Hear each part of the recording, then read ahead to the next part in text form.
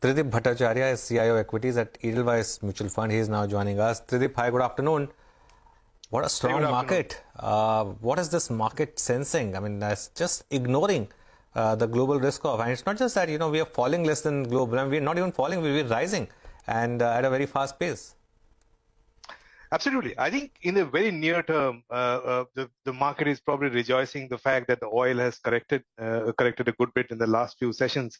But I think more generally, uh, if you look at over the last uh, three or three odd months, uh, you know, we are sitting on a 15% plus rally on the back of a weak global backdrop.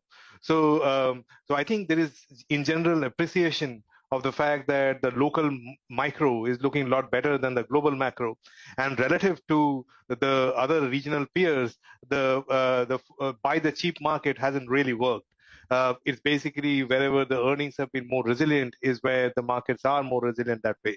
So I think, you know, uh, uh, yes, I agree with you that in some of the pockets, while global weakness is not being fully appreciated, uh, the local, uh, the domestic cyclicals uh, part of the Indian economy, which is the dominant part, um, is doing well and in my opinion will continue to do well on a relative basis for sure.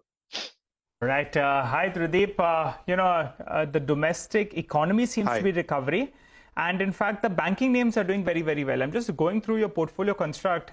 You have it, uh, you have a mix of both. The larger names, you know, like the ICICI banks, HDFCs of the world, and also smaller names, whether it's a federal bank, which in fact has been in focus.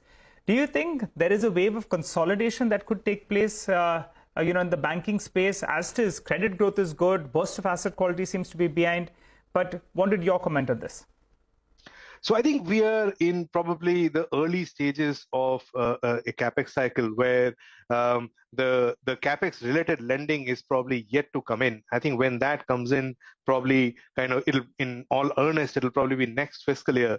Uh, but as it starts to show, you will really see some of these banking share prices kind of you know do well in my opinion as compared to what they should. At the moment, they are the only place in the market where you see absolute value as well.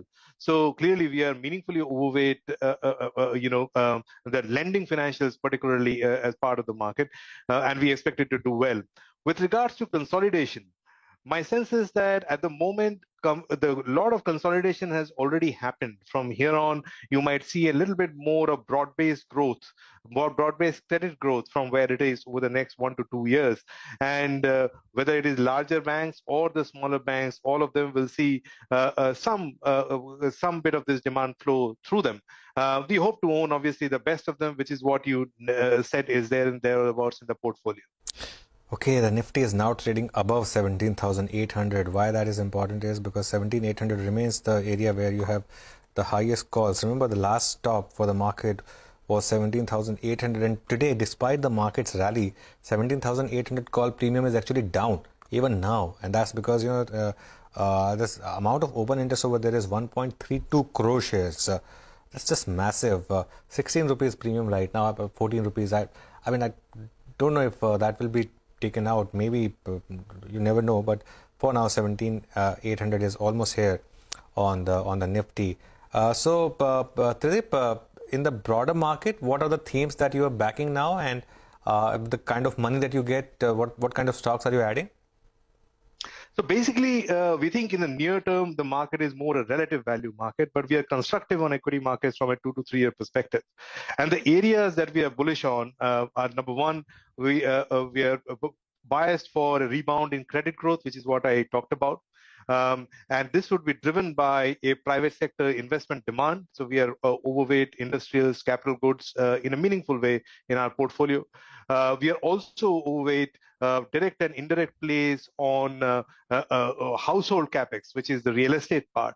We think that we are in the somewhere in the first two to three years of a seven-year real estate cycle, and they would uh, uh, they should stand to benefit. And off late, we have turned a little more positive on consumer companies, where we think uh, there is pricing power coming through. Because as we go through the back half of the year, we think that some of this commodity inflation, as it cools away, might mean a bit of tailwind for these companies, as opposed to headwinds that they have been facing for the last six, nine months. Hmm. Trideep, what about the pharma space? You know, no one's talking about it. It doesn't seem to be a hot sector any longer. In your portfolio, you have a few of them. You have Sun Pharma, I think, Gland Pharma, there's JB Chemicals as well, among the few names, uh, you know, that I could spot. Uh, your view on the space out here, and how would you approach it? The worst of pricing in the United States is it behind? Uh, you know, uh, give us your sense. My sense is that broadly, pharma is uh, kind of you know uh, stocks exposed to the U.S. and domestic, and within that, within that, uh, the U.S. exposed pharma players have not really seen the bottom. In other words, aligning with the US weakness, there might be some more weakness in the prices in US exposed stocks overall from a pharma perspective.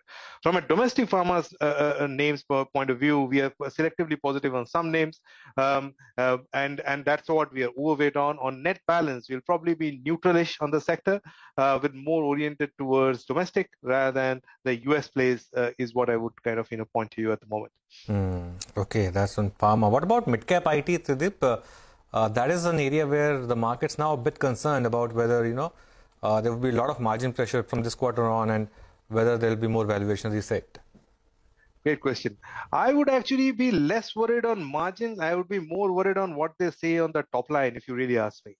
I think the margin worry has well played out and well understood uh, over the last two or three quarters that what we have seen. I think the street in general is waiting to hear that what happens to Indian companies' revenue growth for this year or maybe further out as some of the US companies have kind of, you know, started profit warning over the last month or so. And in that context, Accenture results would probably be a bellwether for, uh, uh, in general, for the sector, particularly in mid-cap IT, because mid-cap IT uh, uh, used to be the place which used to give the growth proxy in the context of the IT uh, services per se.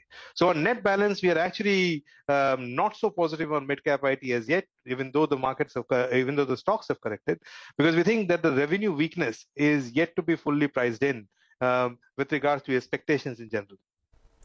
Okay, all right. Uh, what about the cement space? you know, that's, uh, I don't know, these stocks are just moving in one direction. Uh, the recovery I get, the larger names will do pretty well. The problem is that, you know, some of these smaller names, the mid-cap companies, they may not ultimately get acquired, which in that case, it could be putting investors in a bit of a spot. How do you approach this, Absol- Absolutely, well spotted. I would say that we are selective in this. So we are, as you said, that we are overweight on some of the larger names, which would benefit, even though there is a new entrant in the uh, uh, uh, in the sector who might just to make his presence felt get a little aggressive um, this way, that way. And if it were to happen, then clearly the smaller names might be in a spot of bother. Um, hence, we prefer at the moment uh, the larger pan-India plays and relative pockets wherever we see kind of you know less capacity and more pricing uh, discipline coming through. So we are approaching this with a bit of uh, uh, with a bit of uh, uh selectiveness, selectivity in, uh, in our mind, and we think that we will continue to remain that way. It's unlikely to change, given that the sectoral dynamics from new and new player entry and how that will behave is not yet clear. Um, clearly, the stocks have not done well, and hence a little bit of euphoria, some good news keeps uh, makes the stock buoyant from a very near-term standpoint. But I think over a period of time, um, at some levels, again, the sector-related uh, uh, worries like uh, the new entrant and what they will do to the pricing discipline uh, will emanate, um, and hence we are selective in this space. Okay, selective in the space. Uh, uh, so to your mind now, what is the big risk to this market? Do you think this market could just make uh, new all-time highs pretty soon and make much higher highs, or uh, is this a market where you would be a bit cautious now on margin? I would say that the risk to the margin lies actually from a negative headline outside of India. So any tension potentially on China, Taiwan could potentially be uh, something that the, the market is yet to uh, factor it in. Um, likewise, a bigger sort of rate hike than anticipated in the United States could also spell a bit of a correction. But I would say that those kind of fears are there or there about China, Taiwan could be an incremental place to uh, uh, be worried about. I think as we go towards the end of the year, the festive demand and the fact that this will be the first year where uh, there is no COVID or you know uh, people are out out in the open uh, uh, uh, to the extent that they can will lead to certain resilience in certain parts, certain part, pockets of the economy, and hence the domestic bottom-up data would be positive. Um, the worry could be that if the gas prices, or for that matter, any tensions on the geopolitics side, um, keeps us down. So um, you know, given given basically strong bottom up and weak uh, uh, macro, um, that is where I think a bit of complacency might step in. But I would use that weakness to get in. I think from the next three to five year perspective, you will see the India domestic story, uh, India economic recovery story, and Indian market story being particularly strong. Uh, wouldn't bet against that. Okay, Trideep, always good hearing your thoughts. Thanks so much for stopping by and filling us in uh, with your views on a whole host of uh, sectors that we just discussed. Wishing you a Thank good you. evening uh, ahead.